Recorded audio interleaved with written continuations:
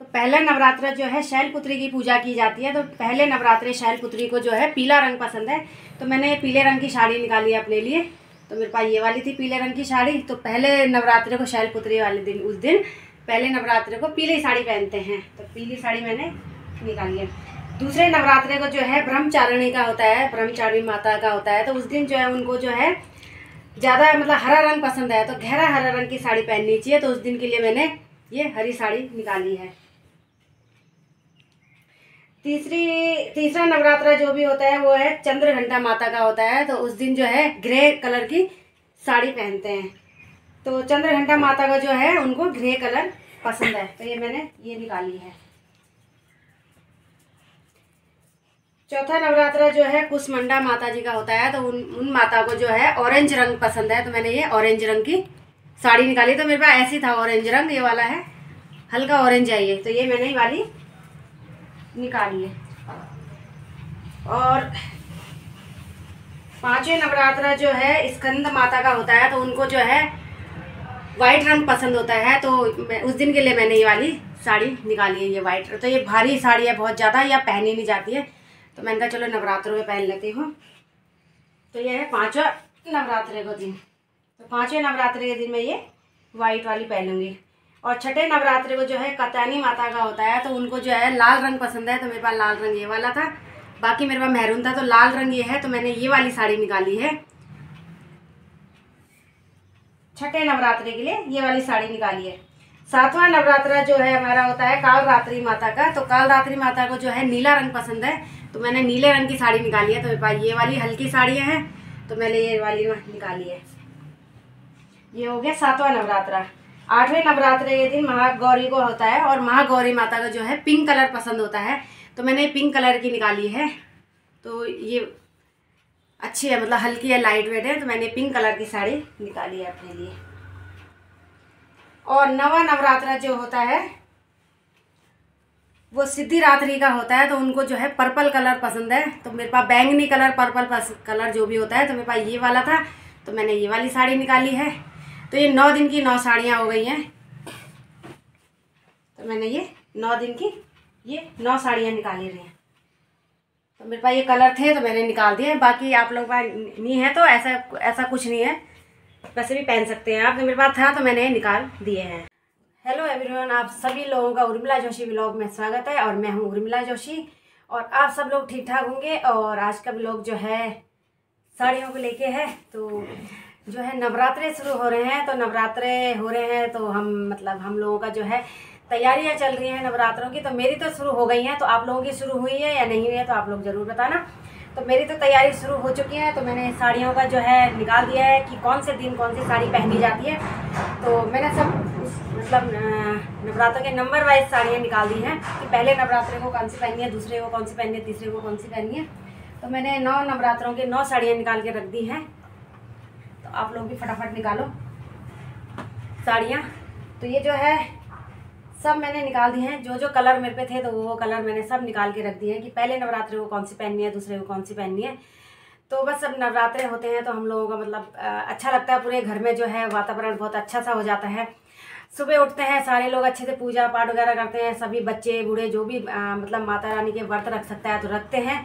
तो बस वही है मतलब मतलब पूरा साल भर का मतलब अच्छा लगता है कि पूरा मतलब कोई भी त्यौहार आता है तो हम लोग जो है काफ़ी अच्छे से इंजॉय करते हैं और अब अब कीर्तन भजन होंगे एक दूसरे के घर जाएँगे, कीर्तन भजन करेंगे और बहू और जो ये था हमारा डाउन था, इसने अभी कैमरा पूरा गिरा दिया था नीचे, ये यहीं बैठा हुआ था क्योंकि अब इसको बहुत गर्मी लगने लग गई है तो ये ठंडे में ही बैठा रहता है तो यहीं बैठा हुआ था, एकदम से उठा पूरा मतलब ट्राईपोर्ट जो है मेरा हिला दिया था, गिरा दिया था अभी कैमरा तो बस वही है कि मतलब मेरी तो थोड़ा बहुत तो तैयारी शुरू हो गई है। बस अब इसके, इनके जो है ब्लाउज, पेटीकोट वगैरह मैचिंग के निकालने बाकी रह गए हैं।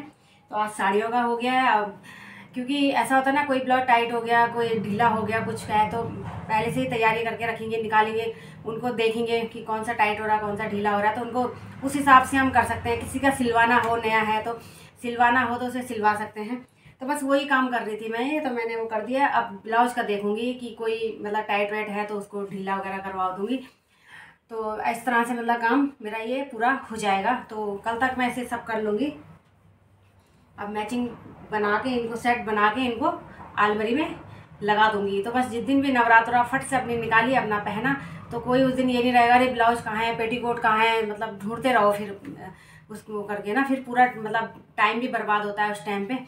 तो उस टाइम पे हम पे वैसे भी टाइम नहीं होता, क्योंकि घर के काम भी होते हैं, फिर कीर्तन भजन वगैरह होते हैं तो हमें जाना होता है, घर के पूरे कामों को निपटा के हमें जाना होता है। तो इसलिए पहले से तैयारी रहेगी तो उस टाइम पे जो है हमें दिक्कत नहीं होगी। तो बस अब मैं फटाफट इनको बुक करके और हैंगर में टांग दूँगी यहाँ पे मैचिंग मैचिंग इनका सब कुछ निकाल के मैचिंग करके इनके पेटीकोट ब्लाउज करके रख दूँगी। और जो नहीं है तो चलो वो भी चलता है। तो बस जिसके बाद नहीं है तो ऐसा ज़रूरी नहीं है कि वो करना है, बस माता रानी के दिल से और अच्छे, सच्चे मन से पूजा हम लोग कर लेते हैं तो वो बहुत अच्छा होता है मतलब ऐसा ज़रूरी नहीं है कपड़े पहनने से ही कुछ होता है। आप लोगों के पास है तो जल्दी जल्दी निकालो।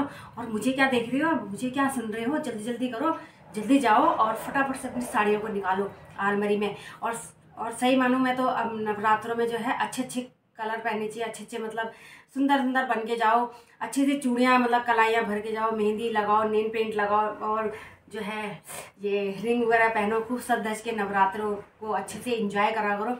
हमें एक मतलब छोटी छोटी खुशियों को ना मतलब खूब अच्छे से इंजॉय करना चाहिए। हमें ये इंतज़ार नहीं करना चाहिए। अरे, शादी होगी तभी हम अच्छे से बनेंगे ठनेंगे अरे, शादी तो दो साल तक कहीं भी नहीं होगी।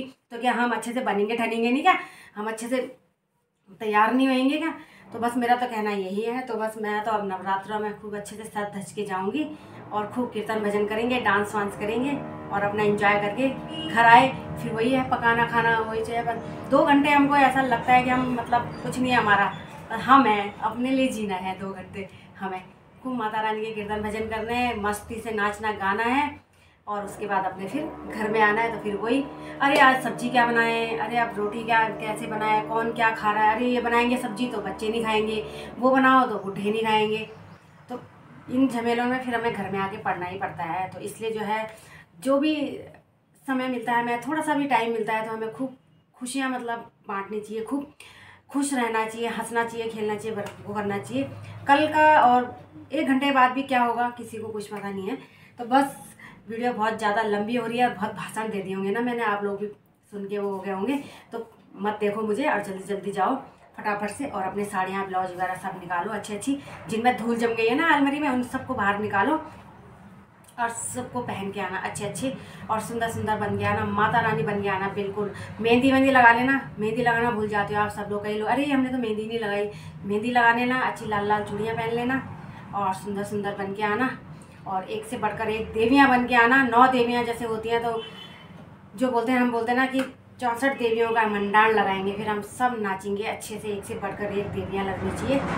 तो बस माता रानी भी खुश हो जाएगी। अरे वाह, देवियाँ कितनी सुंदर बन के आई हैं सबकी सब। तो आप लोग फटाफट जाओ और जल्दी से तैयार हो, अपने मतलब तैयारी करो अपनी। और फिर ये वाली तैयारी रहेगी तो फिर रोज़ का खाने पीने का तैयार रहता तो वो तो हम झेले लेते हैं, वो तो हमारा काम है झेलने का, वो हम कर लेंगे। तो जाओ आप लोग फटाफट जाओ और मेरी वीडियो को बिना लाइक करे और सब्सक्राइब करने मत जाना। जो नए हैं मेरे चैनल में तो सब्सक्राइब करे बगैर मत जाना, सब्सक्राइबर ज़रूर करना मेरा चैनल। और लाइक करना शेयर करना कमेंट्स करना और आप लोग कमेंट्स बिल्कुल भी नहीं करते हो, कोई भी कुछ भी कमेंट्स नहीं करता है वीडियो में तो कमेंट्स ज़रूर करा करो। तो चलो फिर करती हूँ यहीं पे वीडियो का एंड तो तब तक के लिए करते हैं। बाय बाय और अगले वीडियो में फिर मिलूँगी मैं। तो बताना मुझे आप लोगों को कैसी लगी मेरी वीडियो तो तब तक के लिए करते हैं। जय राम जी की। Bye bye